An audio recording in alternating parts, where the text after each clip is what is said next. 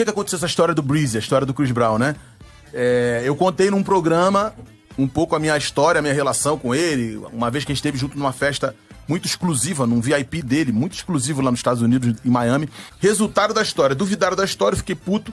Escrevi a música Breezy. Quando eu lancei o clipe, mano, ele pegou, o Chris Brown pegou o clipe e postou nas redes dele. Olá. E aí ele postou um bagulho, tipo assim, ele no estúdio, ouvindo, vendo o, o clipe, e escreveu da mão, igual você faz no stories, tipo, bota uma legenda. Decidido, o nome do meu próximo álbum vai se chamar Breezy. Olha. Olha, só, cara. o Breezy é o apelido dele. E aí eu dei o nome da música Breezy, porque a história né, eu quis zoar. Eu falei, vou botar o nome de Breezy e tal.